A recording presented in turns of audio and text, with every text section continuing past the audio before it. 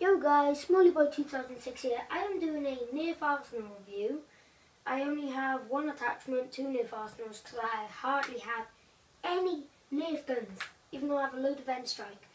I'm going to be mainly doing N-Strike videos and Western Boy 2006 um, is hardly going to be doing videos. So I've lost the mag for the Battle Scout Nerf Modulus, so I can't test it, but yeah, it's really good gun. I love it. Um, this is the camera attachment. Like the camera's by there and then all the buttons are up here. So yeah, and then I have the dart tag, which in the next video I'm going to be using the Nerf Modulus from the Battle Scout bullets with just one to test it out. So hope you enjoyed this video. I'm sorry it's really short because I hardly have any Nerf, Arsenal, but hope you enjoyed this video.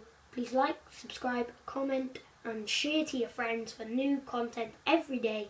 Love life and peace out.